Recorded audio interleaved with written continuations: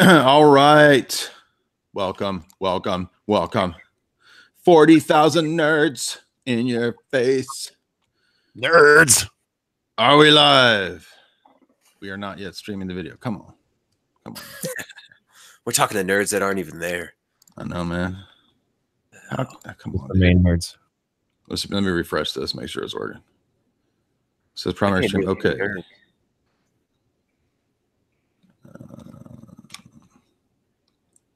Come on. main words. Dude, you're live. Let me re- Are we live?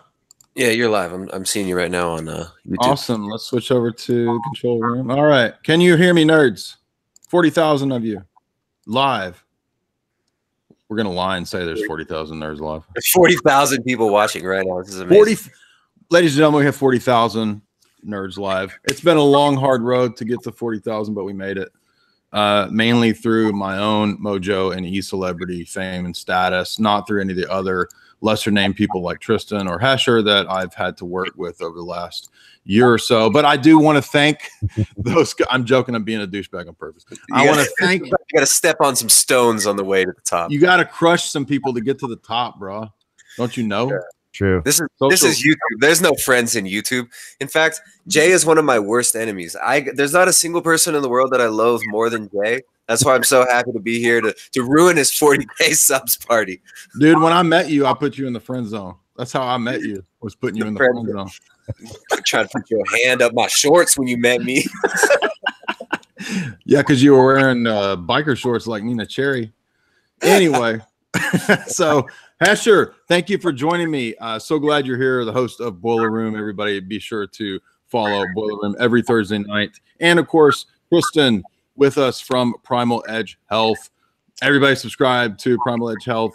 Um, I also want to remind you that uh, also check out Face Like the Sun was just on with Gons from Face Like the Sun.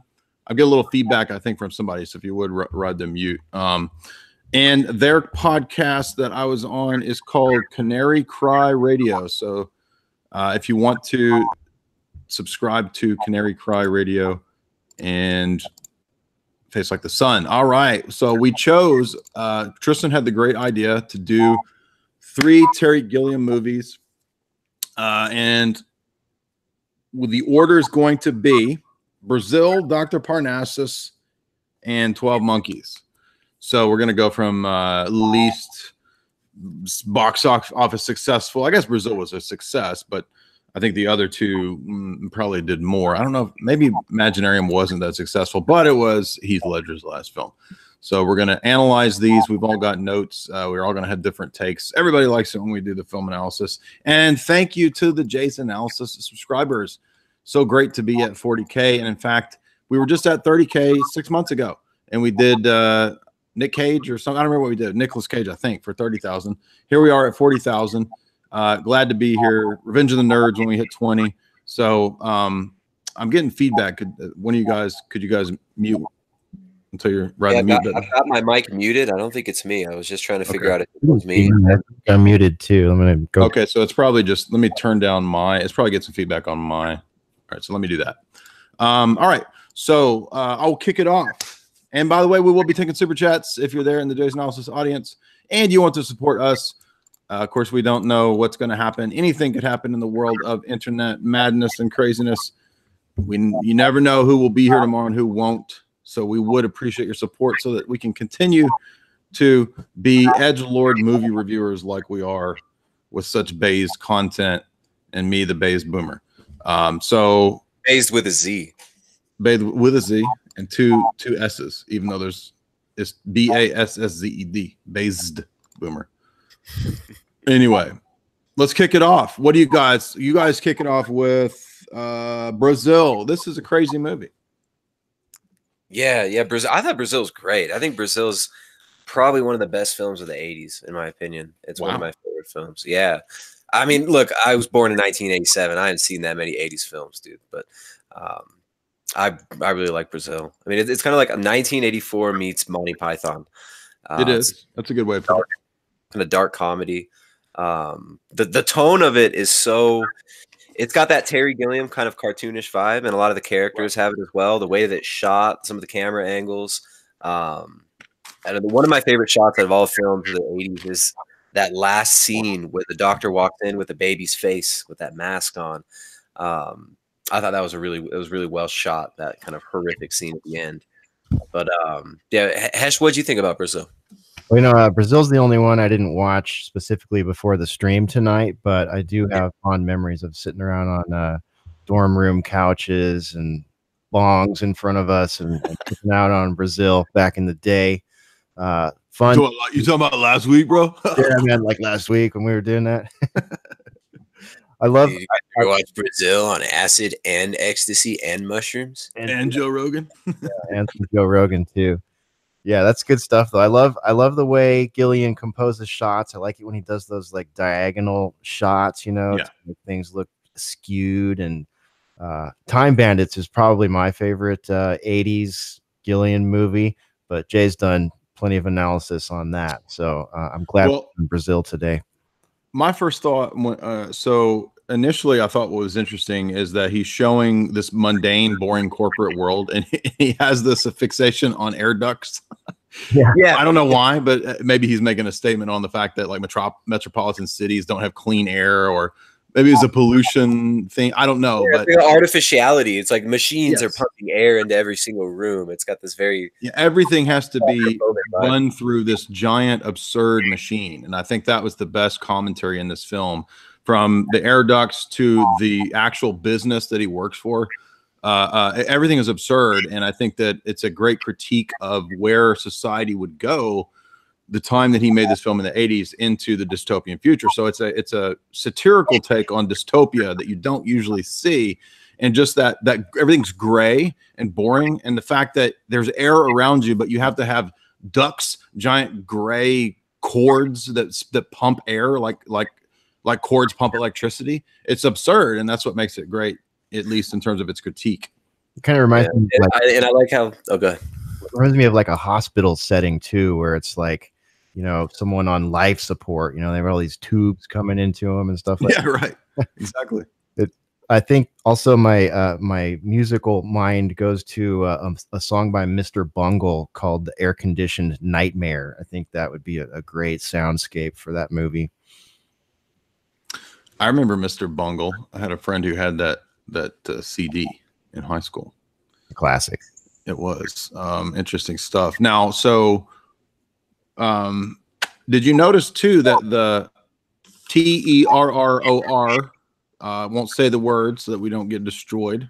The T E R R O R is essentially adored by the state. The state enjoys it, uh, and they hold everybody captive in this BS fear of the T E R R O R events that happen, and nobody gives a shit. like the Yeah, bombs it's, it's normalized. That's that's one of the best scenes in the movie. It's like It's normal. there- Yeah, my they're favorite apathetic is, about it. There- there's just apathy. They're, they're like sitting there looking at their, you know, boomers are, are eating their elite dinners and bombs are going off and they're talking about like plastic surgery. Well, that's the best. That's one of the best film like scenes in, in any film right there. They all sit down. He's with his mother, and his Yeah. mother's always being courted by these younger men. So his mother's like surrounded by these, you know, 20 to 20, 20 to 35 year old men in suits, and they're all trying to schmooze her. Uh, and she's talking about her, her plastic surgery and how she's having her face like stretched over by the doctor. And the doctors are they, they did this crazy stuff with prosthetics. There's a scene where the doctors are like stretching the silly putty off of her Yeah. face around the back of her ear. Um, and she's what I really like about all these scenes is that every single one of the characters they supposedly like each other, but they're all speaking to each other with such contempt and jealousy and envy. And even the first scene where he's talking to his friend about some promotion he was looking at, Yeah. it's just they're just they're just fuming with hatred. Even though they, they pretend to like each other and they pretend to enjoy each other, it's all about getting one over on the other guy, um, using somebody for you know perks within the system. Exactly. Yeah, they did a really good job of showing all of that. Yeah, it's a completely viperous corporate uh, scenario where uh, your best friend is the guy who expects you to understand that he's going to screw you over to get ahead. If you remember that guy who's like, who tells him that uh, he's working in surveillance now, and he's like, he's like, yeah, blah blah blah blah. I know we've been friends for a long time, but uh, until all your problems blow over, please don't talk to me, and then we can be buddies again. It's very Black Mirror-ish. You know, it's sort of It is very Black Mirror. Yeah. in the sense that you know, now with the world so uh, Instagram based, it's like everybody's, you know, lusting at other people's lives on Instagram, their fake lives, you know, of course, they're doctored images, filtered, photoshopped, you know, highly planned. A lot of people actually paying professional photographers to do their Instagram feed for them to create this, you know, sort of uh, plastic life, and of course, you know, plastic people, Mm-hmm. and uh, the the way that Hollywood has sort of uh, propped up the you know plastic surgery and all that. So you can really kind of see that he was taking a view into the future there in ways he probably didn't even understand yet. everything's very plastic and fake too in this in this uh, world which is interesting if you notice the the, the buildings in the cities they almost look like uh, crappy plastic products like like a shopping aisle that's what the city eventually ends up looking like this this product shopping aisle it's very very bland mundane absurd very cold gray boring there's nothing interesting in this the only thing that is that is colored uh, uh, in a vibrant way is the fantasies that he has especially towards the end when he fantasizes, uh, you know, about his having sex with the chick, um, finally getting laid. Um, but did, did you notice too that oh, and, and everybody's everybody's makeup, like all these ugly boomers that are that are getting their their face done, uh, they're very colorful because they look they look clownish on purpose. Um, but did you notice that he's a total mama's boy? Uh, so he's a, he's actually a beta and I think the film is about kind of his journey of coming out of his own prison. So that's why when he fights the samurai, when he moves removes the mask, he sees himself because he realizes that he's his own worst enemy. What what he wants to achieve because he he loves movies, he's got all these movie posters up.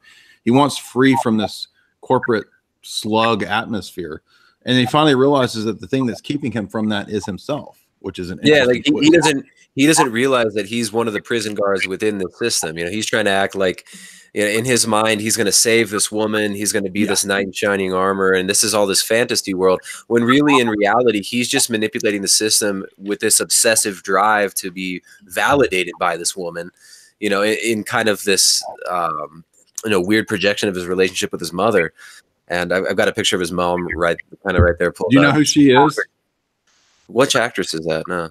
She's from uh she's uh Mona in Three's Company. Angela, Samantha, Mona. No way. That's Mona from Three's Company, Funny. if you remember. She uh, was funny in the movie. She was really funny in She this movie. funny. I think her friend was the funniest when they sit down at the restaurant and um and she's talking or he's talking with this woman and the mother brings up, "Oh, Sam, Yeah. Thinking about getting a job with Central Services." And the friend, she says in this over exaggerated, exuberant way, she's like, Oh, Sam, that's wonderful. Like, congratulations, Sam. That's Yeah. wonderful. and it was just, the it sounded like she was just so full of hate and spite when she's congratulating. I, I love the way Right. she said it. I watched it like 20 times. And her I face. She sends him a singogram and he's blown away. He doesn't know what's going on. And he thinks he's supposed to reply by singing back. he starts Yeah, singing. like, you don't have to sing, dude. and he's like, uh, Mom, I would like to say to. And she's like, You don't sing back. he's like, Oh, oh. And then he writes it down. Uh, yeah, there's all kinds of great comedic scenes in the, in the film for sure. Um, I think it's really funny and it's shot really well. Um, Robert De Niro's character was kind of an interesting cat. He's like, uh, there, there was an administrative error on behalf of the you know supercomputer AI system or whatever, and it mixed Right. up the letters Tuttle and Buttle. So the wrong person, your people are getting killed and imprisonated or and imprisoned when they're really looking for this guy who's supposedly a dissident, um, you know, subversive character within the world. And his job, he's like this anti-hero superhero guy he basically breaks through the window into Sam's apartment and fixes his ducts. And this is illegal because you need to jump through 10 different hoops of bureaucracy in order to get to get the air going. Yeah. yeah, just to get the AC back on, and and he gets you know basically labeled as you know a um a, a T word. Apparently, you call this on YouTube, um, and you know he becomes completely demonized in the system due to being helped out by this anti-hero character who breaks in and fixes his air conditioning duct. Yeah. Is, is, is the Robert De Niro character the catalyst for Sam to to w- get woke, basically to wake up out of his own beta imposed prison? Is is that the role that the the he kind of seems like that. You know, he works outside of the. He, he comes in from outside of the building, right? He doesn't Right. ride the elevator up or something. He breaks in through windows. He's you know uh, catapulting around. He's adventurous. He's smoking a cigar. So he's kind of got this manly vibe in a certain way, whereas Sam's kind of emasculated and Yeah. weak in life. Well, Sam only gets what he gets because he submits to his mom. Like he's waiting on his mom to get him a job, and he, he does what his mom tells him to do. Well, And he uh, hates his mom at the same time. He despises her. exactly. And the funny scene is, is, is remember when he first uh, he's in the truck trying to get away with the chick that he has a crush on, and he tells her in this really beta way, he's like, "I, I- I love you. I, I, I truly do. I love you." And she's like, "Oh, you're really sexy." And he goes, "Do do you think so?" She goes, "No," and she kicks him. he falls out of the truck. It's sort of a, uh, a a crushed patriarchy sort of existence right there. Yeah. Yeah, well, the, the whole reason of, of his mom being this powerful, elite, rich figure and all these old, gross, gangly British women running everything, but they're clueless at the same time. It's like they have no Yeah. conception of what's going on. There's bombs going off all around them, and they're and they're, they're just talking about plastic surgery. All they care about is their status, their social status, and they're you know they're basically doing their makeup while bombs are going off in a restaurant. She's like, "What did you think about these these terrible uh, incidents, Sam?" And he's like, uh, "It's my day off. It's my day off." it's all too real. I think Brazil is sort of manifesting around us right now. Yeah. I mean, we've got uh, bureaucracy, actually technocracy masquerading as bureaucracy. I mean, that's just the, the red tape. The piles of red tape are getting bigger and bigger.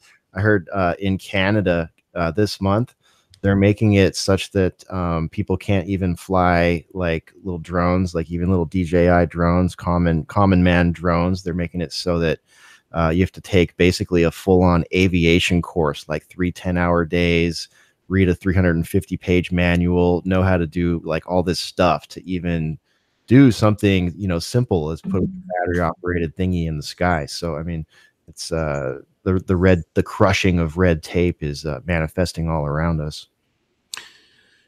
Do you notice the the the sexual dystopia too? Like he can't find a mate. This whole thing is about him trying to find a girl. That's all he wants, and he doesn't want this brace face chick that his mom's trying to give him. He wants this yeah, yeah. fantasy this- girl. This girl is like you know completely stunted that the, his mother's trying to hook him up with, and she just says one word phrases. I forget what it was. She she repeats. Yeah. she's kind of an invalid. So he's got this fantasy that he wants to unite with this chick in his mind, and and he's going to be this this white knight savior. And he literally dreams at night that he saves her from this from these uh, uh, samurai demons who are pulled by old people, uh, pulling pulling her in a cage by old people. So I think that what you have here is this this desire for nobility, this desire for uh, a, a, the attempt to achieve something sort of Don Quixote style that doesn't exist anymore in the in the real world. It's just in his fantasy world because of the Hollywood. Like he he loves movies. Movies function to to satiate him because of the dreariness of his mundane corporate existence. So he's he's obsessed with movie fantasies, and uh, it's there's this kind of attempt to to want to be free of the system. And I think what's most telling is that do you remember the posters? There were posters that were up about when you take a vacation, you have to take a vacation uh, at a secure, uh, top top security facility. so you basically go to a prison uh, to get vacations. It's a top secret security prison facility for your vacation time. There's some great So- poster artwork in the movie too. The- Other Exactly. than that one, there's some really good posters in the background. Uh, like you know, we're all in it together. Just these propagandistic uh, sayings, and some of them were very double think. Exactly. Yeah. Very, very much so. Did you notice uh, Bob Hoskins looks like Mario?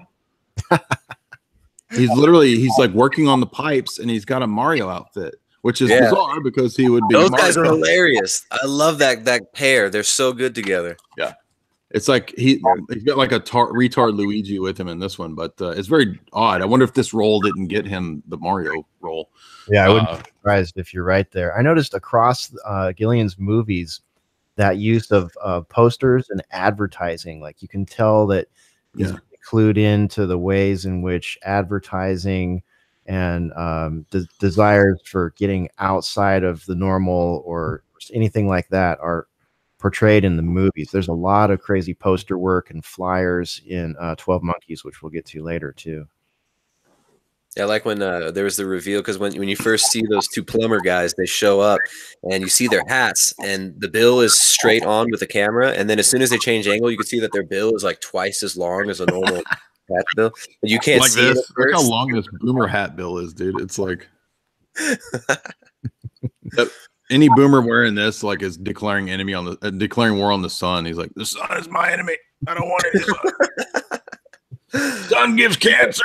The sun gives you cancer. Uh, It's too bad you can't play clips from the film because some of those clips with those two guys bantering with each other are really funny. His his retarded, you know, sidekick, he just repeats what the other guy says in this like demonic way. He's like looking in the guy's face and laughing at him in spite and mocking him. It was and and that's the energy behind every single interaction in the movie. It's just mockery and um and, and jealousy and, and hatred. It's really weird. So she's uh and she ends up being framed. They think they're like, oh, she's behind the bombings and this stuff. And so uh he goes rogue nerd to try to defend her. He's like, oh, she's innocent. Um what do you make of the ending, Tristan? How do you interpret that ending? I thought I really like the way he did the ending because he kind of leaves it open ended. I mean, Tuttle, or it was his real name, Buttle or Tuttle, the guy, uh, Robert De Niro's character, busts in. Um, well, first of all, the, the the walk up, like the lead up to that moment when he's you know sitting there strapped down in kind of the Clockwork Orange type setup, and he looks down at the tray, and there's um, you know some torture instruments there. There's like a scalpel and a little knife, and Yeah. some blunt objects. And then this guy opens the door um, and walks in, and he's got this baby mask on. Um, and he walks into the room, and he uh, he he kind of hesitates for a second. The camera comes around behind him, and it shows him turning around. He turns back and looks back, and it shows the mask. It's a really good shot. And then he walks along, and he, and he comes up to him, and he pulls off the mask, and he looks right into his face, and he's and he's angry with Sam. How can you do this to me? How can you do this to me? He's like, he's like, look what you're doing to me. He- He's about to torture the guy and psychologically break him. and he says, look what you've done to me. This is absolutely terrible what you're doing to me. He's mad at him. Um, so I really Yeah. like how that how that kind of came about. And and then uh, Sam dissociates. This is Right. kind of how I interpret it. You know, the, the guy breaks in right before he starts getting tortured, right before he gives in, gets his psyche broken. Uh, Robert De Niro's character breaks in. They come falling down from the ceiling. They rappel down, and they shoot everybody, and they save the day. Um, but then it, it loops back, and you see the doctor and his whatever the other um, upper level bureaucrat looking at him, and they just say he's gone. He's completely broken. The dude's sitting there all vacant, and, um, empty-eyed, and uh, so he basically dissociated. And uh, maybe maybe the Tuttle character wasn't real the entire time. Maybe he was a figment of, of his imagination, kind of in the Gilliam way. You don't really know. You're not really sure what was real in the film at all. Yeah, or, or there's a Gnostic element too because he pictures himself as uh, Michael the Archangel when he when he has his fantasies. He's like this this uh, rebellious archangel or like an anti Michael, almost like a Lucifer type of character. So uh, it's almost as if the prison state ultimately that he's trying to get away from was was this whole existence. So that's what he when he dissociates when he leaves or whatever happens is that he re- he realizes that the problem is this whole worldview and and and and I say that because Terry Gilliam is consistently presenting that kind of a Gnostic view fr- from Time Bandits all the way through a bunch of his films. hmm Right. Absolutely. I gotta see Time Bandits. I still haven't watched Time Bandits. Oh man, Great. Yeah, all everybody. right. um, Hesher, any final words on Brazil? No, just uh, absorbing the master class here. It's been a long time since I watched Brazil, but it's next on my list. I, I'm actually really glad uh, you're taking a director approach here because it's been so long since I've seen some of these. I forgot it was the same director on these. And actually, when it comes to the Imaginarium of Dr. Parnassus, I had the mistake, the mistaken impression that I had actually seen it. And when I sat down to watch it, I wasn't two scenes in before I realized, holy crap, I've never seen this before. So uh, I'm like fresh off of Dr. Parnassus. I actually just finished it before the stream here. Cool. Yeah, I got a lot of notes on Dr. Parnassus. So, um, Tristan, what do you think about Dr. Parnassus? yeah. All right. So I, I, saw it years ago, and then I watched half of it, part of it today. Uh, I I enjoy it as a film. I, I think it's kind of it's pretty dark to a certain extent. I um I don't I mean there's a lot to unpack with it. I mean it's a lot. It goes even deeper into some of the esoteric stuff than than Brazil. One more thing I, I remembered about Brazil just now is that giant ninja character, the, the giant samurai. He was made of a bunch of computer microchips. Did you notice that? Like his his whole suit is computer chips. That's cool. I, that's one thing you'll notice when you do watch uh, Time Bandits. There is sort of the uh, the the Gnostic Luciferian character archetype in that movie also, and one of my favorite uh, pieces of dialogue from that movie is when that character goes on this crazy diatribe about what the future is going to be like. And and he's totally just obsessed with technology um, chips you know basically computers and networks and all that stuff. It's so the devil. It it's is. devil. Straight yeah. up satan and he's all about like computers and technology. He's like he's like god invented worms. What about microchips and computers? Yeah. Worms? Exactly exactly. And it's funny because in, in, a lot of the, even in transhumanism, it's kind of this inverse theology of the fall, right? Where man is going to make his way back into Eden and create a new heaven on earth uh, through technology. And then another thing in Brazil is that a lot of imagery of distorted faces through computer screens. And the computer screens, the aesthetic was really cool. It was like a, uh, it was almost, they did it um kind of like a not a microscope, but a uh, what's it called? A uh, a magnifying glass, where people will be looking into the computer screen and you just see their face magnified and distorted in this interesting yeah. way, which is obviously saying something about what the technologies do to us and how they we project a false image of ourselves through them and and all this. Yeah, that's the thing he consistently does. A lot of uh, directors have kind of ripped off of him is that style. I mean, it, you see it even in uh, Twelve Monkeys. It comes up when Bruce Willis has all those cameras in his face and yeah, the eyes are all distorted. Yep. Uh, so he does that consistently. And I would mention too, a lot of people are saying, when are you going to talk about time bandits, bro? There's a whole analysis of time bandits in Esoteric Hollywood too. So if you want to, yeah, when are you going to buy your book? You can buy the book. And people are saying, uh, talk about zero theorem. Uh, Aaron and Melissa, uh, that we just had on last night, they wrote an analysis of zero theorem many years ago for Jay's analysis. So you can go find that in the archives for zero theorem. But today we're talking about Dr. Parnassus. Um, by the way, thank you, Tristan. I appreciate that because I forgot that that samurai was made of chips, and so that's absolutely pointing to that synthetic overlay stuff that he's critiquing because the dystopia. Yeah the dystopia requires everything being fake and synthetic, and that's all throughout Brazil. And they got almost everything right about the the way that the technocracy would work with the hyper bureaucracy, with the useless yes. jobs. Uh, I like. There was another scene that I really liked when uh, it was a very comical scene where it's panning through this room of a bunch of workers. It's almost like a wall type right. place, and then and the boss is sitting there in front of his office, peering out and looking, and it's all done in one shot. And as soon as the uh, the manager steps into his office and closes the door, everybody stops working and just starts screwing around. And then as soon yeah. as you open the door, they start working again. They yeah. act like they're all busy and um and that's worthless bureaucracy. Yeah, in South America, the the bureaucracy, it's like Gilliam level comedy. You know, you need a stamp from this guy, and you got to right. go to a notary and get your paper notarized, and then you go to this other job. And there's people's jobs here where it's literally just to print out a receipt, and then you go see the next person who prints out another piece of paper. And these, it's yeah. it's insane. Um, so yeah, I really like that aspect of the dehumanizing bureaucracy. And nobody's outside; everyone's indoors. And the only time they're outside, it's like all smoky, and they're in these gross cars, and they're in between these huge buildings. And um, so I really like that. But yeah, uh, sorry, I'm sorry, man. I had to go back because those those images came to mind. But Par- Parnassus is actually a better film than I remembered. Uh, I've watched about 50 minutes of it. I've watched the first half of it again and really uh, enjoyed it. I like that Andrew Garfield was in it, Spider Man. I didn't remember that he was in this film. I didn't either. Uh, and he was also in uh, beyond beyond or behind or yeah, under under the, the Silver Lake. Yeah, so a little yeah. little actor continuity there. That was cool. Um, right.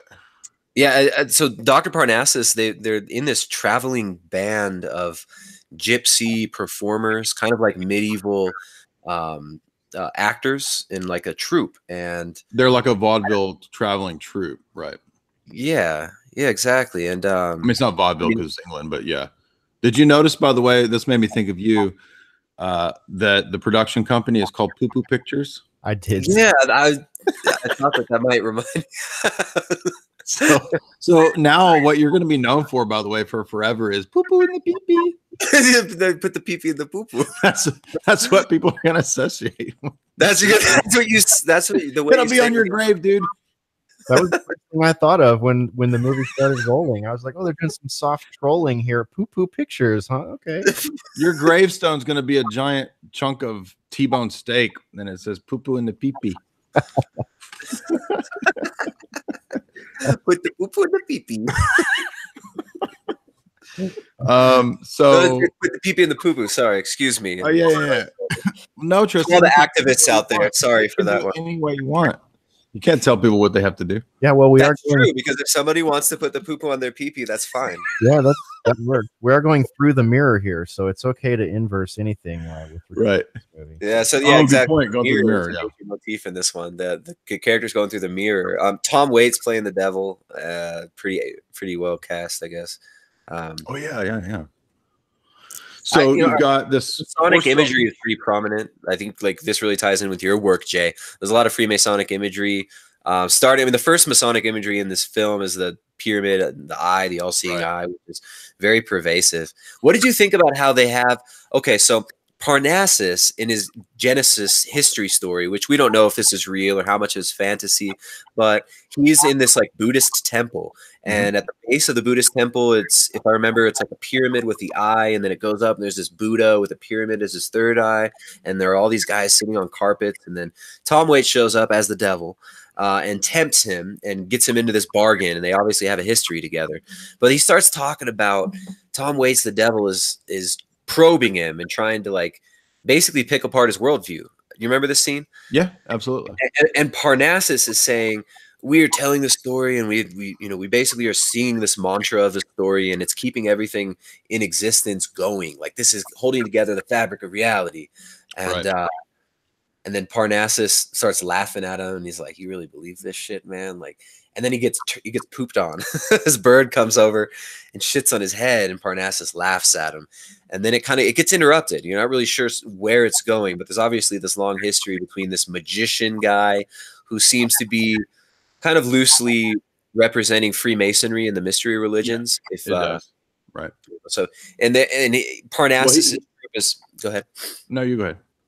well I, to me it's parnassus and his troop are basically the mystery schools as freemasonry says are. they are right like they say that they're the heirs to all the great mysteries of the Right. universe all the old mystery schools and they're traveling around trying to bring in initiates but then there's this aspect of their luciferian realm that's constantly probing them and coaxing them along into these little battles but in the end it all kind of ends up serving this luciferian agenda overall um i, I haven't watched the end of it again Well, there's a there's a there's a sequence where he specifically refers to himself as the actual Jesus. So the so Dr. Parnassus Yeah. is from the Gnostic mystery school perspective who Jesus actually was. So you're absolutely right there. And he he literally says that when he's explaining this to the daughter that he has, the young girl.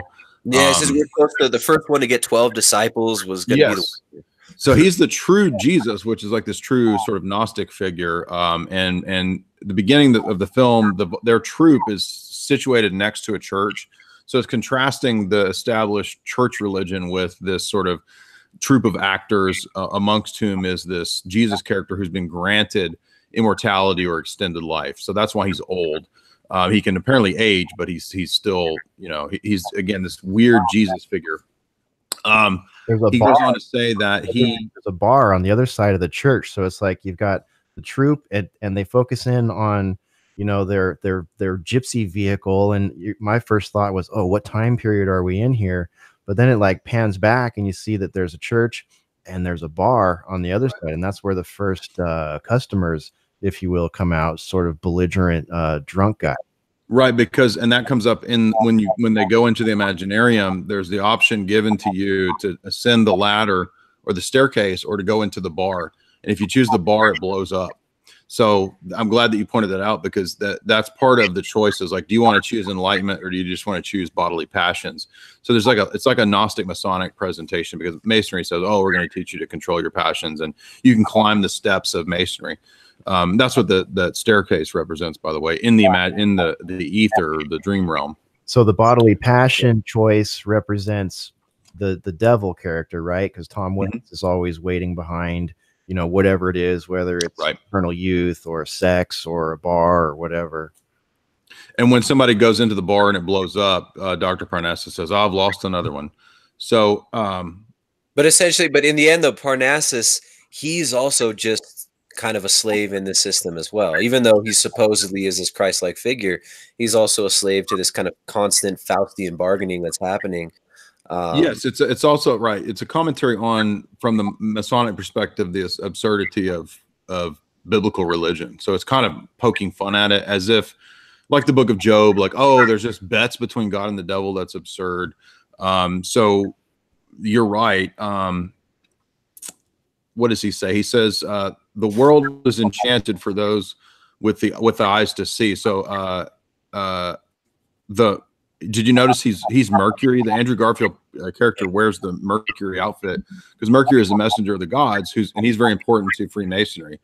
And so he actually says that if you have the eyes to see, if you're illuminated, you can actually see the world is re-enchanted because there's uh, I think what it's trying to say is that that the, this world is not all that there is. There's still a spiritual realm and that our imagination or the ether is actually connected to those two realms. And so, in a lot of ways, it's Kabbalistic because Kabbalism says that the realm of the imaginal, the realm of the, the potentia, things that, that emerge in our subconscious are, in a sense, a real realm. And so, what's what's interesting is that Dr. Parnassus knows mind control. And Andrew Garfield explicitly says this when they find the Heath Ledger character. Heath Ledger's like, uh, he says this to Dr. Parnassus. He's like, So you've discovered all the secrets of mind control, which is to control people's imaginations. He's like, Why aren't you using it to take over the world? And he's like, Well, I wanted to give everybody free will and I wanted to, to. So there's a weird tie in between not just critiquing uh, biblical Christianity and religion, but also there is an absolutely 100% MK Ultra mind control aspect to it. They even bring it up in the screenplay. It's mentioned specifically.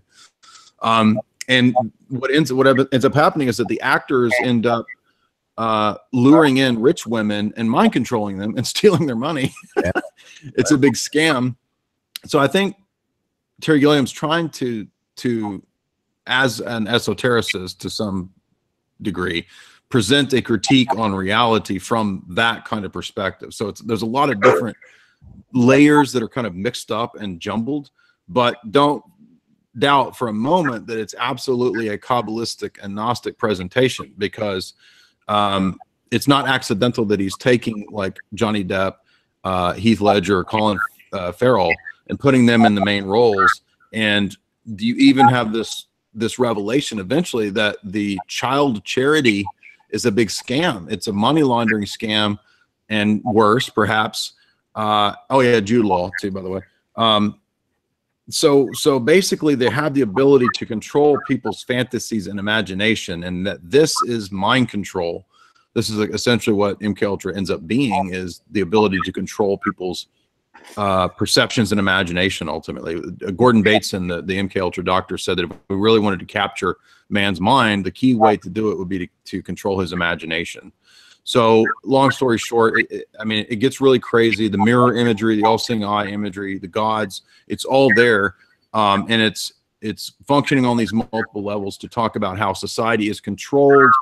Um, Jesus is presented as this Gnostic revolutionary. The real Jesus would have, you know, freed us from all this kind of nonsense if we had listened to him.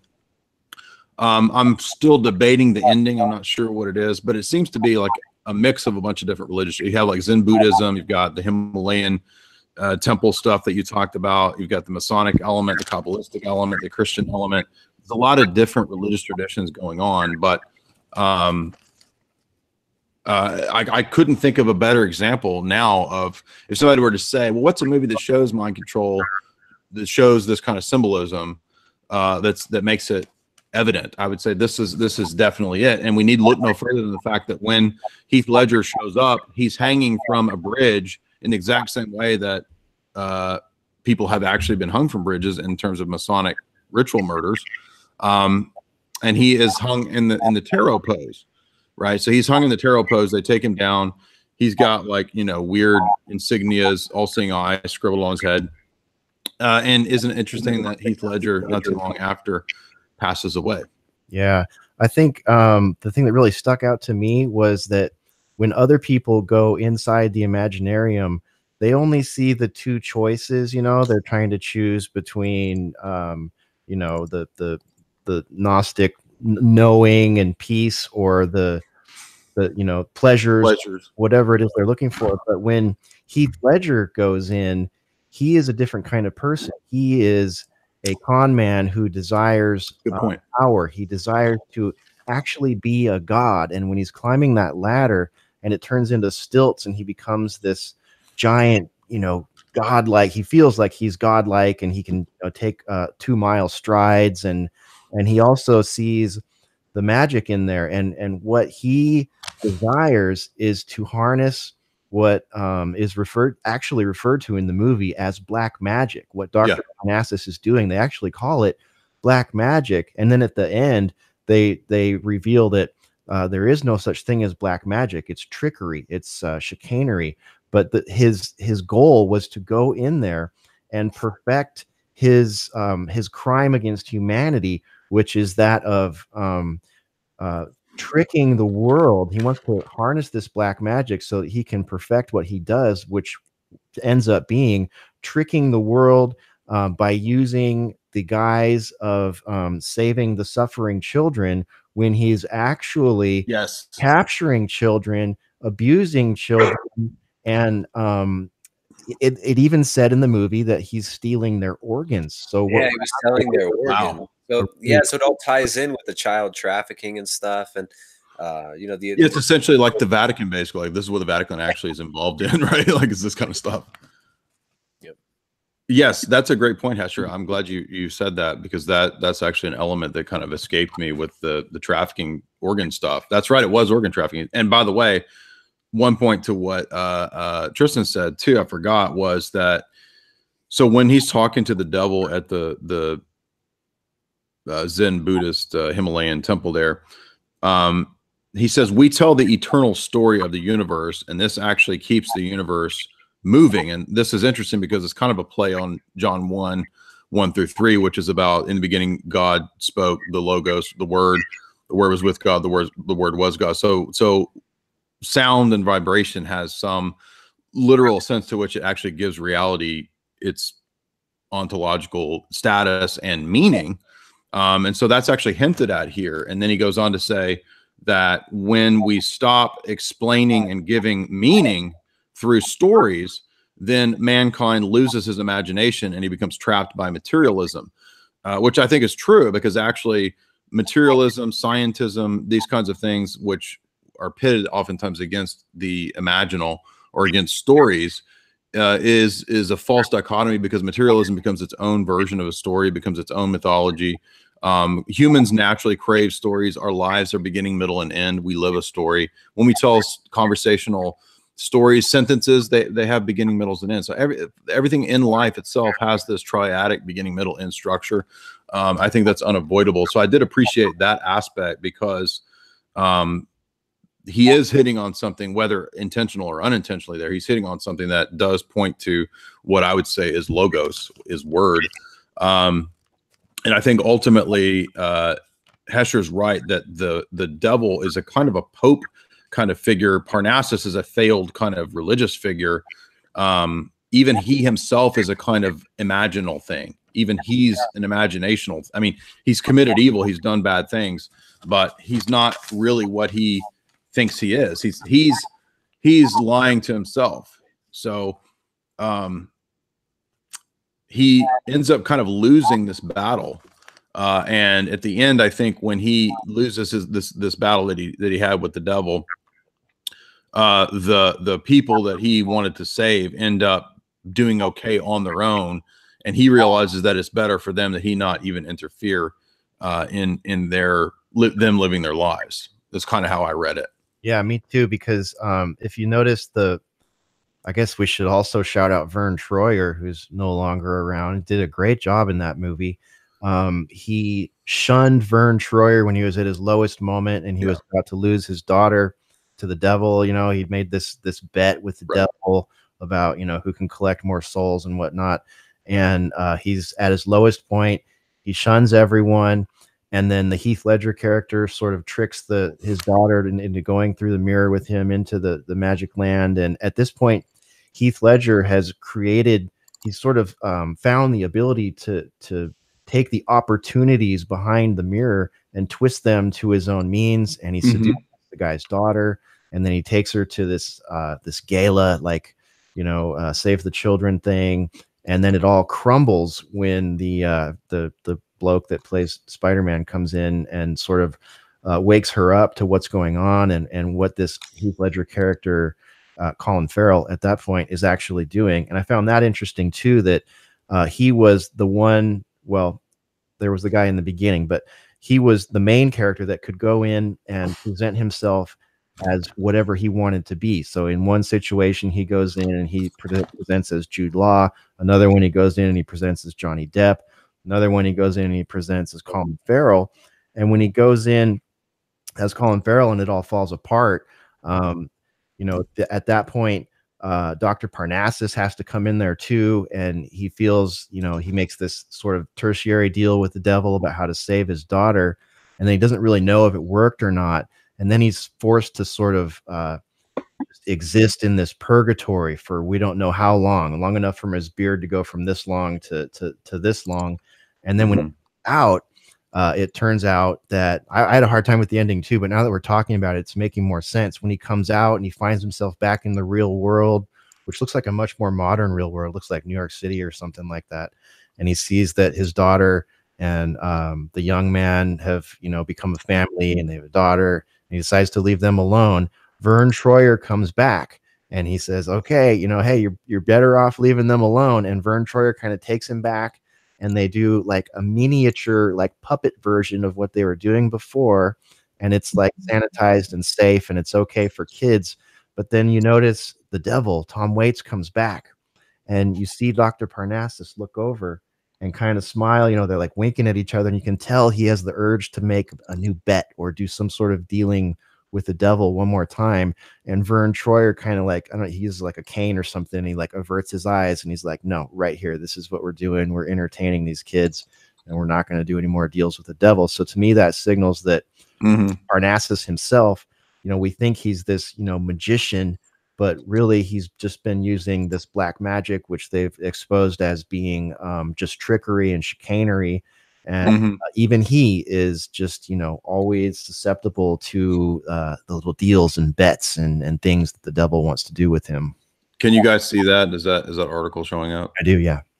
Yeah, that's a great uh, New York Times article. I wouldn't typically recommend New York Times, but it fits right into this because uh, it's from December 3rd, 2010. It actually explains the whole scammery of um, charities and Hollywood stars and scams and how there are people who literally organize all this stuff. Uh, it's it's very clever. It's very very uh, fleshed out. There's a lot behind it. So this ties in directly. If you've not read this article, go read this and learn about the real world because it's exactly uh, more or less what what he's talking about in the film.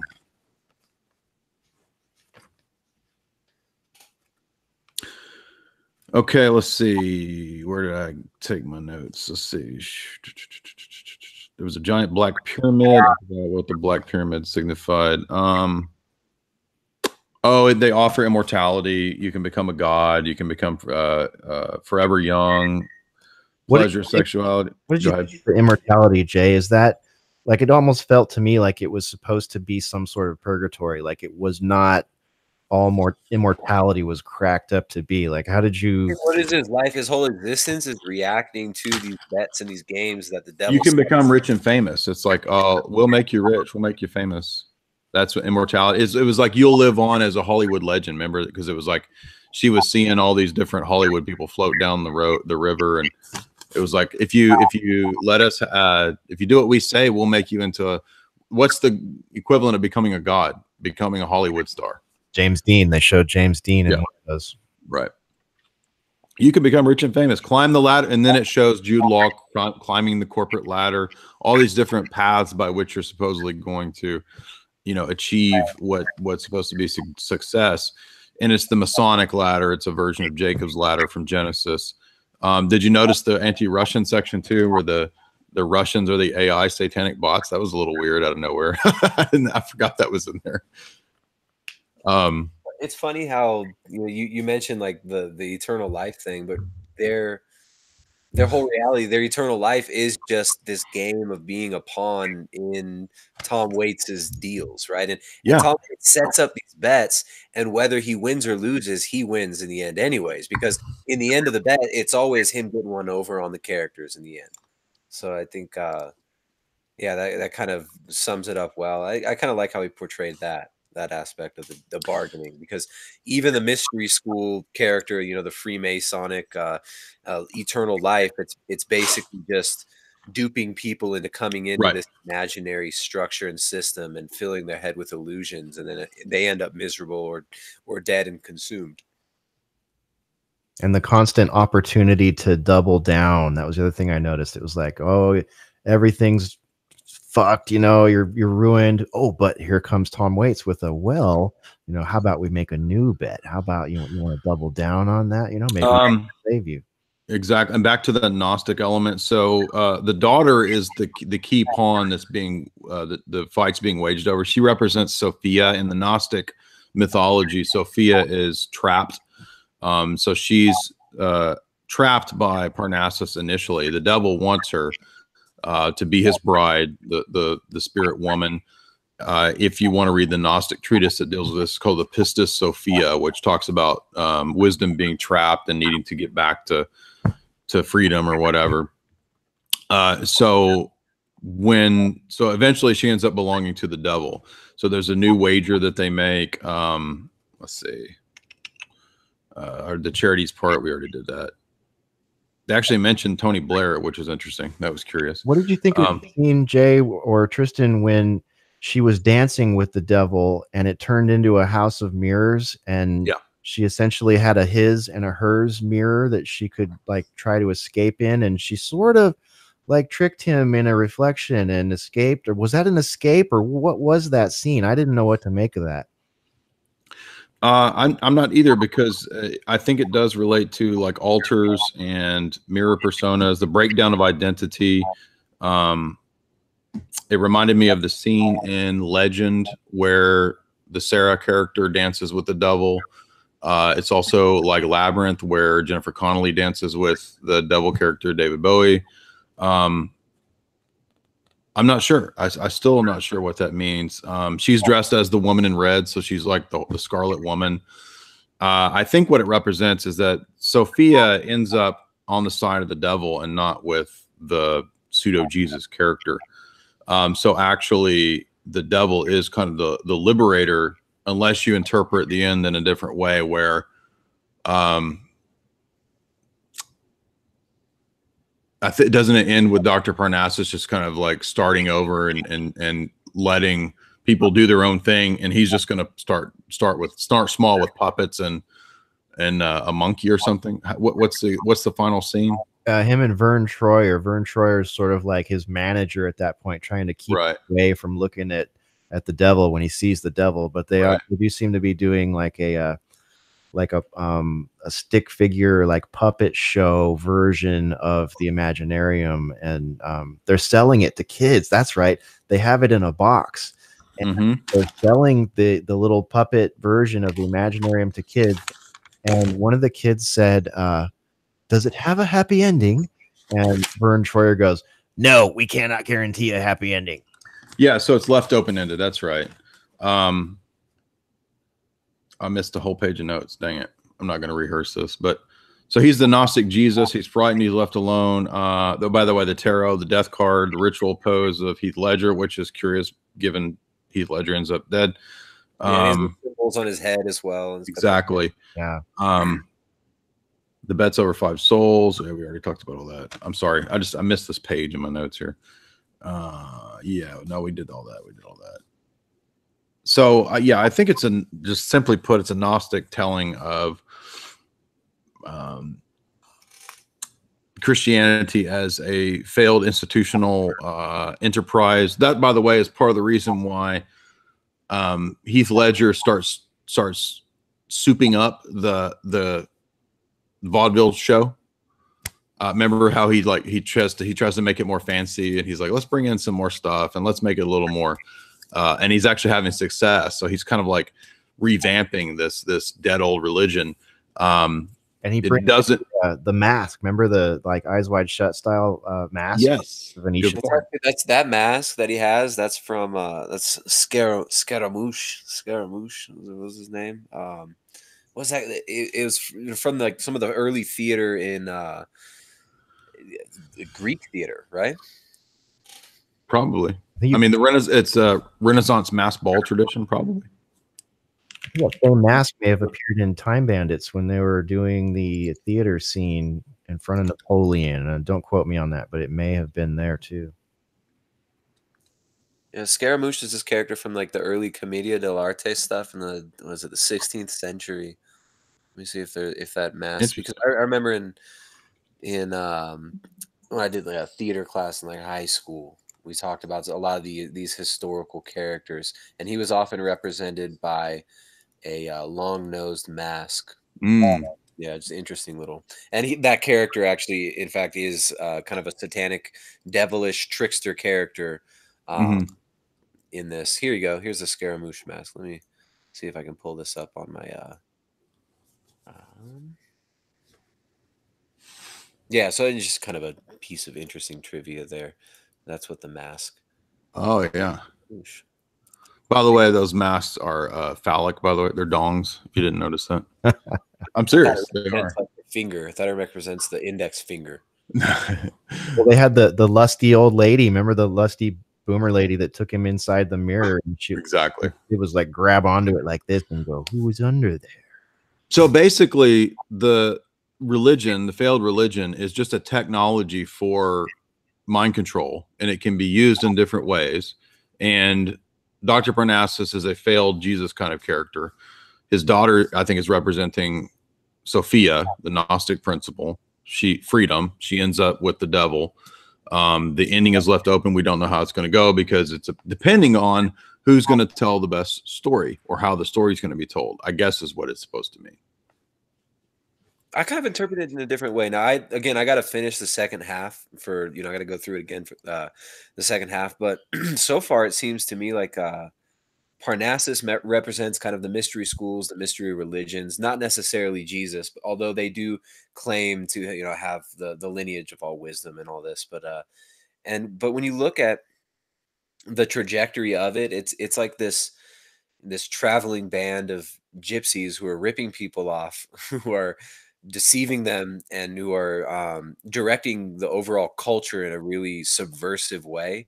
It almost seems to me like it's actually a critique uh, in certain ways on uh, on the mystery religions and on uh, masonry in general. But maybe that's maybe that's wrong. That's actually pretty interesting because what ends up happening is um, a worse figure, if you will, the Heath Ledger character, a um, you know elitist, child trafficking, organ stealing, you know, really Ladder climber, a social climber, right? Yeah. like Right. he comes in and and messes up their world so it's like they're you know messing with other people's world and then someone much worse much more powerful comes in and says oh i see what you're doing here let me see how i can use it and uh you know he he wants to use it for you know like the worst imaginable purposes of all and of course if he can do that of course other people can do that and there's going to be a lot of you know it's not it, it's a uh, kind of a holographic um, thing there where that that behavior is going to happen all throughout history too. So i think it definitely is there is sort of a critique on that system in general. Yeah there's something cyclic there. What did you guys think of verne troyer's character in general? Like what is his archetype? What is his role? How is it that he at the end is is telling you know the the black magic gnostic jesus-y character hey don't don't look over there at the devil we're we're selling these things to kids like i, I couldn't quite figure out Is he like a uh, Jiminy Cricket, like a version of the Conscience or something? mm, okay yeah I mean, that doesn't mean that he's necessarily good, but Right. um, And there's no indication that Parnassus isn't going to make another bet with him. It's just like, okay, for Right. now, I got to pay attention to this. Let me wipe my ass, and then I'll get to that. Yeah. Kind of. yeah, the temptation there. That's the one thing that we know as the movie closes is that whatever Parnassus and uh, the Verne Troyer character are going to do next, that Tom Waits is is always going to be ever present and and tempting uh, the Dr. Parnassus. Right. And the, in the Imaginarium is going to be, you know, a, a vehicle for people to be tempted and for people to, um, you know, play around with magic and with, you know, the symbols of the unconscious and with their, uh, you know, the powers of the mind. Right. it is. Yeah, I think it's all those things. Well, any any final uh, words on the Imaginarium of Doctor Parnassus? Did you notice it was two words at one point? I wasn't sure what that meant, but it was like Parn and then it ass, assus, Um, Parnassus. I don't know. I don't know Anybody what. know what Parnassus means in the chat? Yeah. It's a little bit better of a film than I remembered it. You know, when I watching it another time through, I, I think I enjoyed it a little bit more this time. It's, uh, I don't know. I, I I actually like it a little bit more than Twelve Monkeys, to be honest. As a just the pure entertainment, I think it was a little bit better done. I I kind of did too, but I I still have a special place for Twelve Monkeys just because of when it came out and and what it was and how how well Brad Pitt did in that movie. I mean, that Yeah, was Brad Pitt was good. How did he get his eye like that? I know, man. How did he do that? That was great. But yeah, I, I really enjoyed uh, Doctor. And glad you guys invited me because I probably would have just always thought, yeah, I've seen that. It was okay, but didn't even realize it was something I hadn't seen yet. And I would like to remind our uh, cheapo audience tonight that we are taking super chats. We had a great boiler room last night. Everybody was very magnanimous. Um, and then tonight we just uh, people are like, "Screw you, dude." Come on, I so- guess they felt like they gave us their heart and soul uh, last night on the on the boiler room. So It went hard last night on the boiler. it went room. hard last night. So that's okay. We we still love all the nerds. Maybe Um, it's timing too. Maybe it's uh, boiler room's a little True. late tonight. Got a little different crowd tonight. I noticed that different. You'll get different attendance to, depending on the day and the time. Yeah, you do.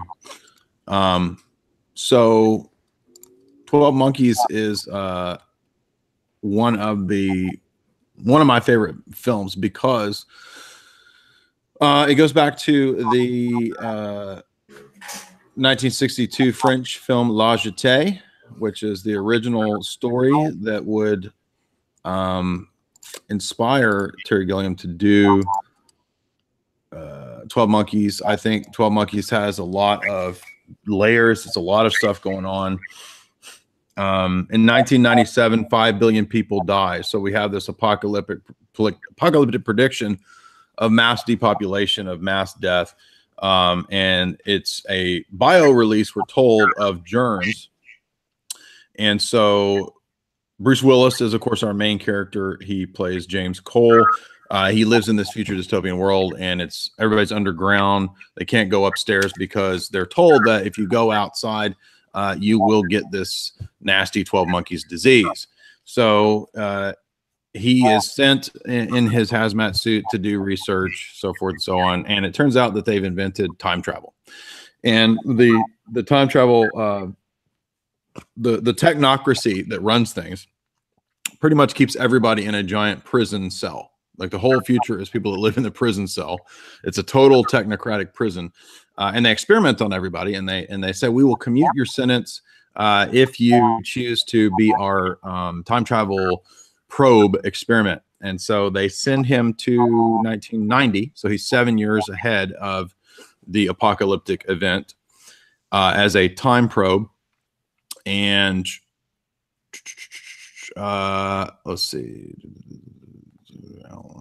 Uh, They must Looking at my notes. sent him to 1990. Remember, the disease starts in in 96. and right. They're still perfecting their time travel, so they're they're So it's off. They screwed up. That's right. They they they messed up and sent him to the wrong time. But as a scientific dictatorship, um, it's a totally panopticon surveillance society. Um, and then it, then let's say yesterday's. So he meets with he ends up finding the a psychiatrist because they think he's crazy. So he's committed. His uh, psychiatrist, Madeline Stowe character, is the only one who kind of has uh, sympathy for him. Um, I'm trying to read my notes. I can barely read what they're saying. These old ass notes. Yeah, I thought it was kind of cool how they how they did the uh, the time traveler was kind of interpreted as a crazy bum, as a uh, you know just a you know a broken. Well, that, there's a mind control aspect to it because actually he says that they're they're the the bum says they're experimenting on people down the road at this facility.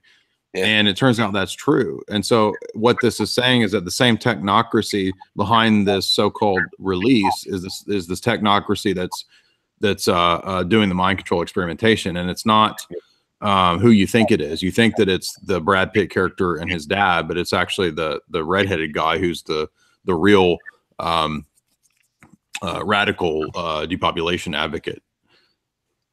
And what what did you think about the end? The end, maybe we should we shouldn't go there yet, but the end was really interesting and how it could be interpreted in many different ways. Well, it, the movie begins with him seeing uh, Madeline Stowe dying, and he's a kid and he sees this.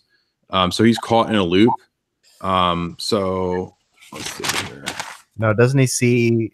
Well, he sees a person dying, and Madeline Stowe is He sees himself dying. grieving. Yeah, it ends up Yeah. being him in the end, but she's trying to like save him or stop it or something like that. I wrote these notes like two years ago, and I'm trying to. I I can't remember what I, I wrote all this stuff down. I don't know what I'm talking about. So it's uh, so okay. So basically, the the neat part that does come up is that they talk about um, the Brad Pitt character is a uh, radical environmentalist, and his 12 monkeys represent the 12 apostles. So he, he sees himself as like this new Jesus figure, but he's actually literally just insane. Um, he does want to release the virus and to depopulate um, but that he's not actually the one that does it. But the whole time Bruce Willis is chasing the wrong character. He thinks that it's uh, uh, Brad Pitt, but it's not. Although it's Brad Pitt's dad's company, which is a genetic modification biowarfare company that does have the depopulation uh, worldview.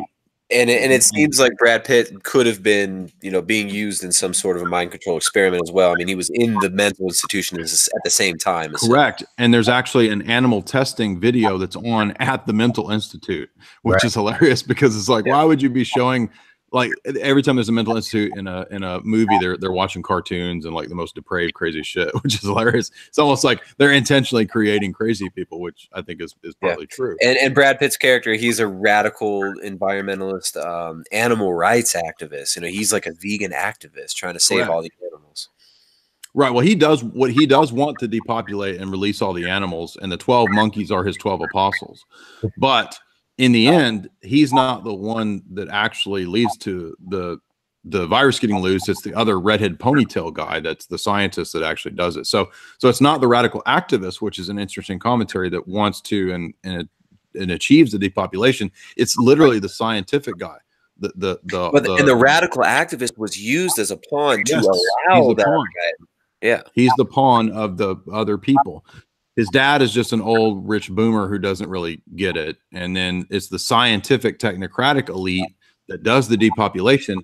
And it's the scientific technocratic elite in the future that are the tyrants, the same ones that are are torturing Bruce Willis. And Bruce Willis essentially is a is, is a victim of MK Ultra. He's actually in the prison cell. He's hearing voices. They've got voice to skull technology. The bomb tells him about MK Ultra and says they're doing mind control on people. So there's also a And he sees possibility. these guys like when, when key events are supposed to happen, he sees people which give him these weird visual clues and seem to like do post hypnotic suggestion to him as well. Well, that's what I was going to say. There's two way to read the movie. There's also the possibility that Bruce Willis is is is crazy, uh, and because at, at one point I think he disappears or he sees somebody just disappear, which would not be possible uh, if he really did just go back in time. So it could be that this is kind of like a Jacob's Ladder thing where he's seeing kind of the things that are repeating, like in a David Lynch kind of way, where it's like he's stuck in this time loop of he's already dead, uh, or um, he really was sent back in time and he's stuck in a time loop and he can't stop the events because it's determined and he's actually the cause of all these things as well as his own death. There's also a paradox to take note of there, um, where so he gets sent back to 1990, where he gets institutionalized. He gets arrested and institutionalized right away. And when he's in the nut house, he actually is watching one of these, uh, you know, horrible animal experimentation videos with Brad Pitt in the nut house. And he says to Brad Pitt, Oh, you know, the humans are all going to be gone anyways, or something like that. He makes an offhand comment, knowing, you know, what's going to happen in the future. And he plants the seed in Brad Pitt's head that yes, great idea. that's right. So there's like a butterfly effect, uh, a paradox, or a time loop happening there, and it's like Bruce Willis's main goal is to figure out how to stop this, and he thinks that the technocrats, if they get a hold of the original uh, uh, incarnation of the germ, if they find out how to do that, you know, they can cure the Earth in back in the, in his current time in in 1997 when At least that's what they tell him, right? yeah, exactly. Yeah, and then there's a there's a twist to that at the at the very end, which you alluded. There's also the apocalyptic element too, because her book is about the end times, and she actually cites Revelation. Um, one of the four beasts of the Revel of Revelation is mentioned, Revelation 13. Um,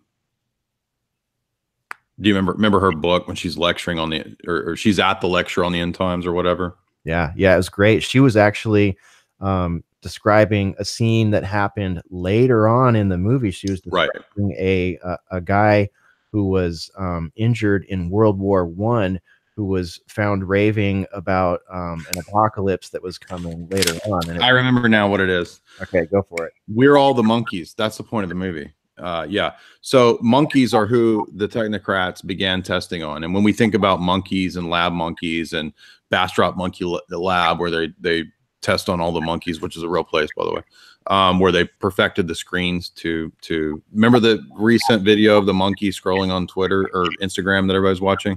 Yeah. Uh, that's a, a real thing that they studied and and and the meaning of twelve monkeys. They specifically say there's a there's a line um, get rid of all the humans. It's time to wipe out the human race. And there's a line, we're all monkeys. Don't you understand? We're the monkeys. The key to the movie is the sections where Brad Pitt's character sounds crazy, but he's actually telling you the truth. He's saying that we're the monkeys, we're the ones that are being tested on, uh, we're the animals. Um, I'm I'm saying specifically when he's in the mental institute and he's telling the Bruce Willis character that's that's when he's telling the truth about the movie. Later on, he's when he's crazy Jeffrey, uh, and he's talking about uh, how we need to kill everybody, and my dad has the the secret bioweapon to kill the human race or whatever.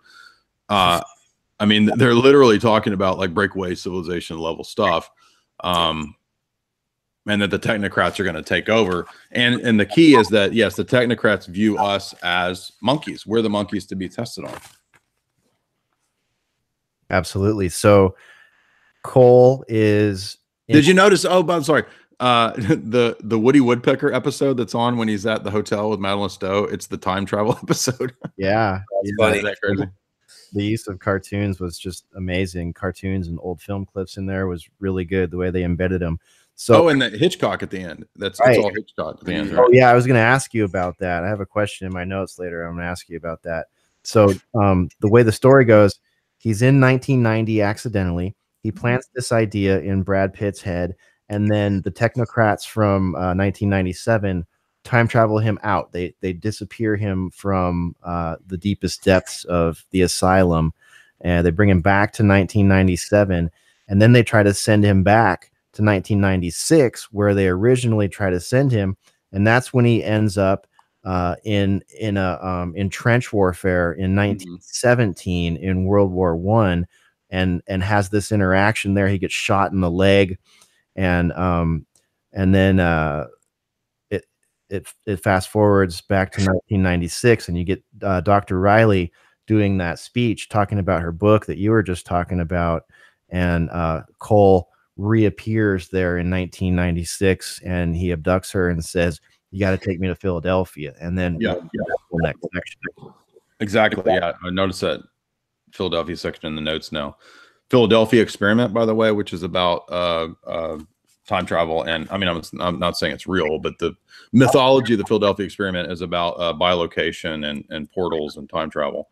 Um, yeah, what's funny is a lot of these so-called time travel experiments kind of seem to sync up with the same time and technology era as the MK Ultra experimentation too. exactly. When you look at some of these alleged sur- excuse me, alleged survivors. Hold on.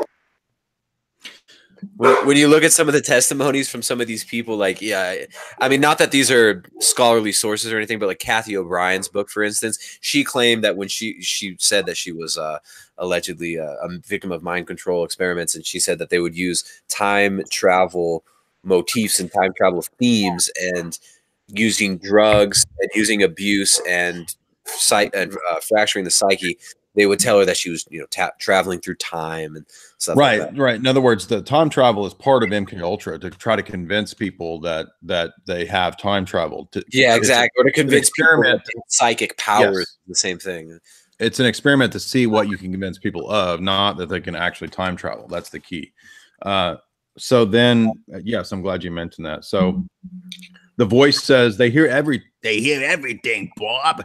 They've got that tooth device. You know it's in the tooth, right, Bob? and so he's hearing all this now man, that was crazy. You took the tooth out. Yeah he thinks it's in his tooth which they actually do have you know like microchips they can put in people's tooth teeth te- teethies uh and then so here's the key that i wanted to mention about this.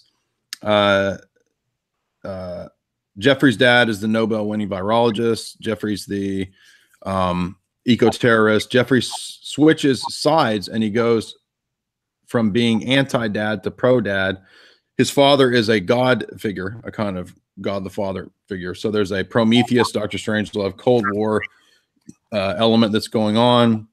Monkeys are humans, humans are monkeys. Pigs keeps getting mentioned too. Humans are likened to pigs. Um, Bruce is in a cage like an animal.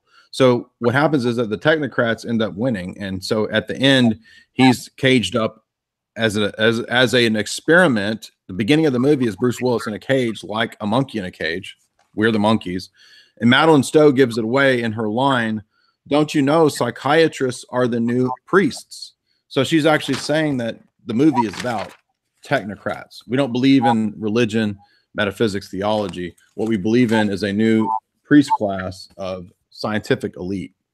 Um, and she begins to see through the lie of scientism. That's one ele- interesting element here. Um, Yeah. so she starts believing that maybe he's telling the truth and that maybe he's not crazy. Um, there were secret experiments. There's secret weird stuff. Uh, that's just what they do. Experiments. So there, there keeps there- there's these subtle references to MK Ultra here um, that I never caught until the last time I did watch it. That's just what they do. Experiments. They do it. They experiment on humans. That's the key line there. Is that it's not about the animals. It's about what they're doing to us. Yeah. I also noticed um, when he went back to uh, Philadelphia, when he, when he takes her to Philadelphia, um, he starts discovering the the symbology of the twelve monkeys, and and he sees the, the army of the twelve monkeys. They're here. They're here, and um, they end up in a uh, like a I don't know what it is, but essentially it was like a uh, a proto vegan militant front store shop of some sort, and um, and and uh, Jeffrey, Brad Pitt's character, had had been picketing his own father, and they said Right. that he had eleven other people in his troop that were doing that, and they were like animal activists, basically. But it wasn't enough for him. So what he did was he split off with the other eleven activists, and um, I think he incriminated them somehow. And then uh, he goes and fakes that his father's virus work was important and that he wanted to work for him to make sure that animals weren't mistreated. So he took his sort of, you know, animal liberation idea and, and found a way to insert himself into his father's, you know, uh, disease research and whatnot. And uh, that was sort of his in.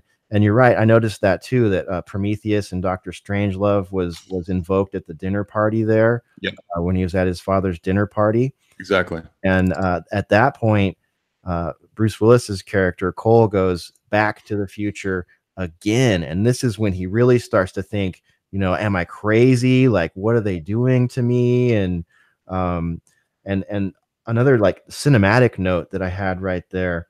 If you look at the um, the aesthetic of the the future and the time travel, and especially the like the time traveler uh, get ups, and when he had to go out into when he was when he started out, he was just like collecting, you know, bugs and stuff outside in the in the desolate future where where animals now rule the world. He's in like, you know, Philly or New York or something, and there's Right. like a lion on a building and a, a, brown bear, uh, you know, all this stuff. Very similar um, costuming to Time Bandits. A lot of that plastic uh, Mhm. suit sort of thing going. and the Brazil as well. Yeah, the Yeah. is- it's very. There's a lot of continuity there. right. I want the future to become unknown again. Um, there's an interesting line that Jeffrey says when he's spilling in, in his two kind of rants is where he really spills the beans about everything. Uh, I think this is at the dinner scene rant or when he whispers something to Bruce Willis. He talks about AI modeling and game theory, Yeah. and he says it's all determined. They've all got it modeled out. That's again Yes, talking about yeah, I wanted to point that out. I thought that was when he was, he was talking to his activist friends, and they asked Okay. him something. They said, "How do you know this?" Um, or how do they know this? And he says, "Well, they could they could have mapped out every single possibility, Yes. of everything I could have ever done my entire life." And he kind of harkens to the same mind control type AI game theory, cybernetics type stuff that we were talking about. exactly. Yeah. It makes it a possibility within the realm of the movie that that's what's really going on. That nobody's really time traveling. Right, because the doctor uh, was outside of the the headquarters of of Jeffrey and his his activists, and they're saying, "Well, you know, how does how does she know that?" And that's that hit me too. That hit me hard. And he said, "Well, when I was, you know, when I was in the asylum, the psychiatrist downloaded and modeled my mind, and they've been running prediction simulations. So Yes, oh, that's that's what I'm going to be doing." Which Yes. is weird because we were talking about this last night on Boiler Room with Aaron and Melissa and everybody. So uh, that really struck me when I watched that part too. Exactly. That's Oh, one. The last 1994? What, what year is this film? ninety-seven. Well, wasn't it? Is it really '97 release? I thought it was. Maybe I'm wrong. I don't know. I don't- It's either Uh, ninety-seven. or 95. 97. 95. That's Okay, so it was released right in between the the the earliest point in the movie, which is 90, and then the end point, which is 97. Interesting. How about Uh, I want the let ending? me ask the the chat real quick too. By the way, um, and this is something. I- So, is Cole really experiencing these things, or is Cole experiencing some kind of mind control type stuff?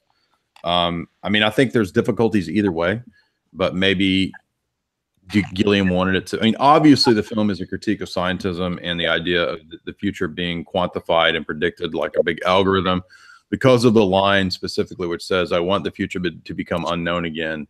So it's it's raising the questions of determinism and predestination and all that. But um, and then we get the birds Hitchcock imagery when he goes to the airport to try to save her and stop things. Um, and he sees his own death. So, what do you guys think? Is this is this in Cole's head? Uh, is he just a victim of mind control, or or what? That's a tough one. Um, as a as a viewer and a sci-fi uh, enthusiast, I I like to take it a little bit more literally. Maybe just because it's more fun for for me as as a viewer going on the journey, um, and because I'm such a Time Bandits fan, I I like the idea of him actually uh, doing these things and and moving between these times. Um, but yeah, it is a little bit odd that it's such a short span of time between 1990 and 1997 and we're supposed to believe that you know humanity's basically been georgia guidestoned and Right.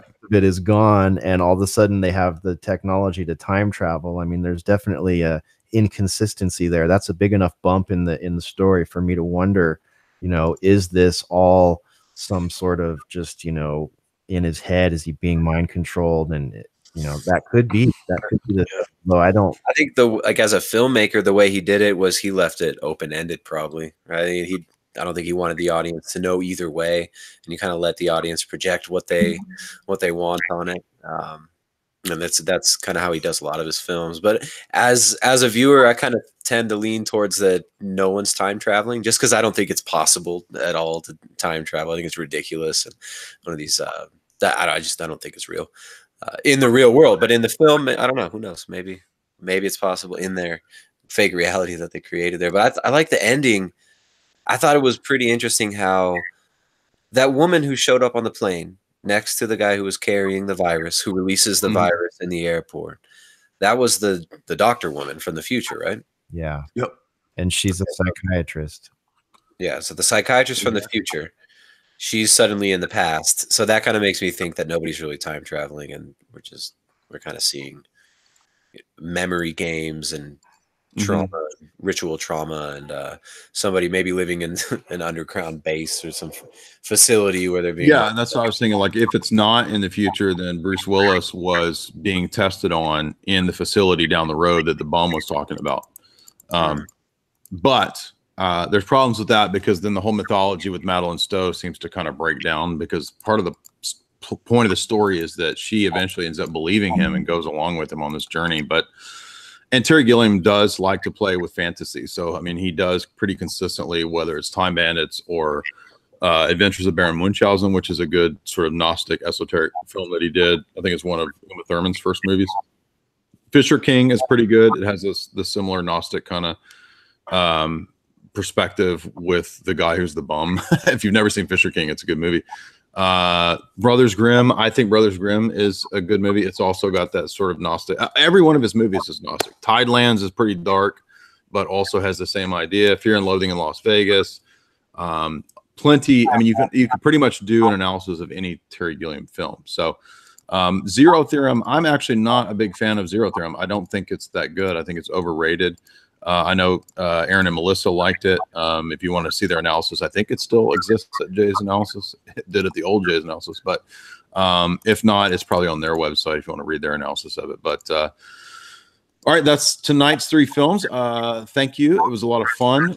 Very cool stuff. A little more open ended. We didn't have definite interpretations of, of every aspect of these films, and that's because of the nature of Terry Gilliam's style. It's a little more open ended, but great films nonetheless.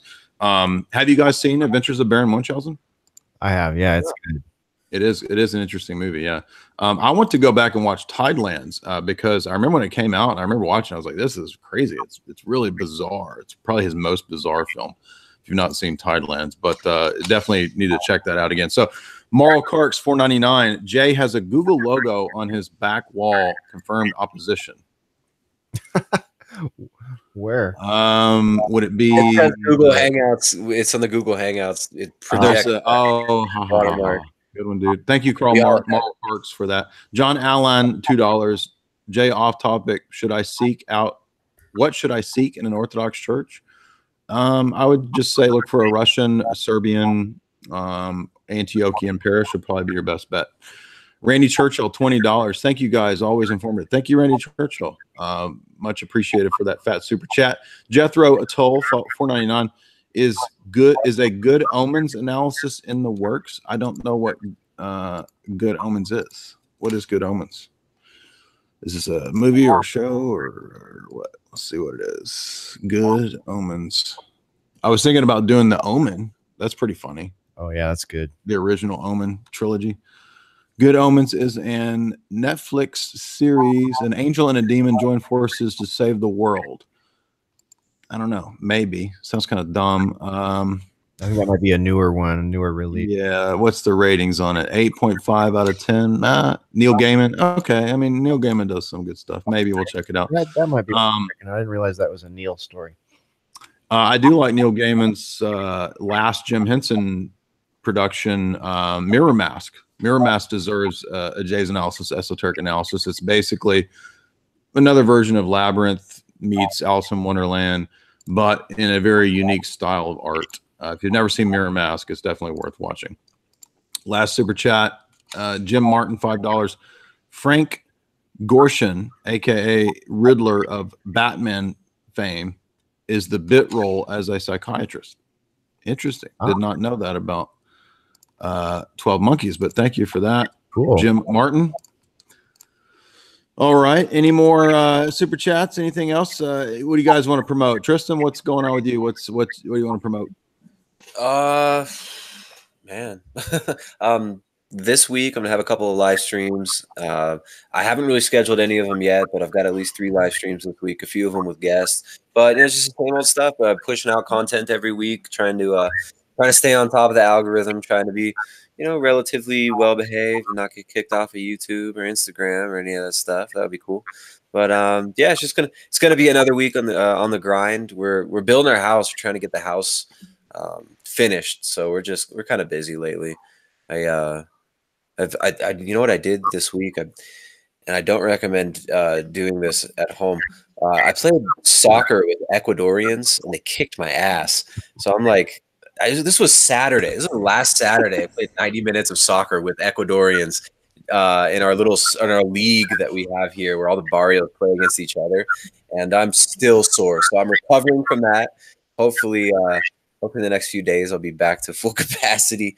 Um, but yeah, same old stuff, man. Thanks for having me on. Congratulations on 40,000 subscribers. Uh, if you guys want more of my stuff, you want to learn a little bit more about nutrition and health and how to use diet in order to uh, basically optimize how your body works. And um, uh, we definitely are going to be putting out more content over at Prime Carnivore Cookbook. There you go. Got the Carnivore Cookbook. Jay's got a copy. Hesher's got a copy. Um, you guys can find that at primaledgehealth.com. And uh, yeah, just – you know, every day, every day we hustling. Every day we hustling. and of course, uh, I'm the author of Esoteric Hollywood 1 and 2. You can get those signed copies at jaysanalysis.com in the shop. And if you like Terry Gilliam, Time Bandits does feature heavily in Esoteric Hollywood 2. Hesher, what's uh, on your plate this week? Well, uh, I think Boiler Room is probably nothing new to the nerds out there. The 40K, shout out to the Jay's Analysis nerds out there on YouTube. I appreciate everybody coming and hanging out with us on uh, Boiler Room Live every Thursday night, just after 8 p.m. Central. We had a great one last night. So if anyone missed that, go back and check it out. You can find it on Jay's channel. And uh, if you're mobile, I recommend you check out the Spreaker application or your Apple iTunes or iHeartRadio. Pretty much most good podcasting apps have that uh, Boiler Room show headed out to them. And uh, Spore and I, we run alternatecurrentradio.com over here. And you can come hang out there anytime. We have a 24 7 stream happening. So if we aren't live streaming, we are uh, running classic replays and recent shows coming through. We've got Jay's Analysis podcast. We've got UK Column.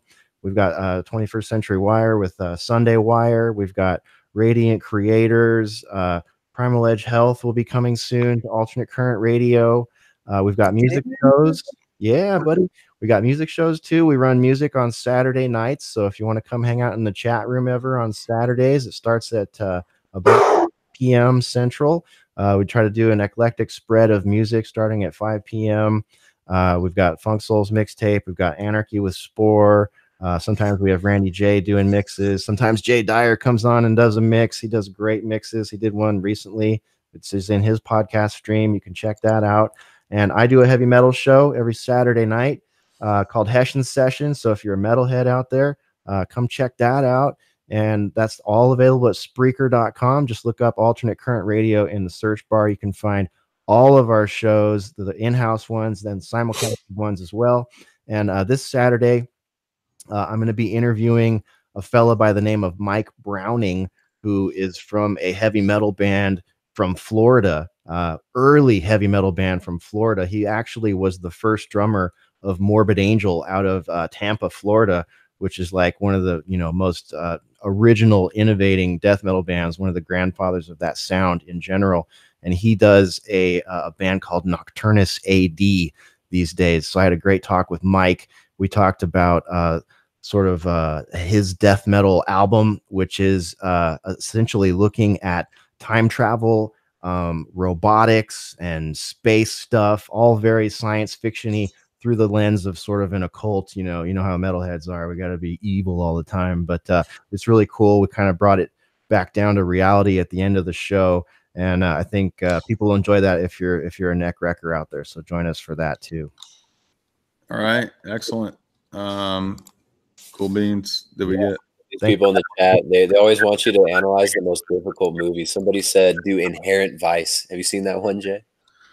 Uh, actually, we I did do a pretty extensive talk on either a boiler room or something. Uh, if you type in, uh, I did. I, I, at some point I've discussed Inherent Vice. Yes uh, which is a good novel too, by the way. Um, and I actually I did that like movie is kind of Gilliam esque in certain ways. It is. I like the movie. I thought it was good. It's kind of a PT uh, P.T. Anderson underrated movie. It didn't get very good uh, fanfare, but uh, it does have uh, it does have a window into the the elite. Uh, uh, it does hint at the CIA, Esalen Institute, mind control of billionaires, mafia.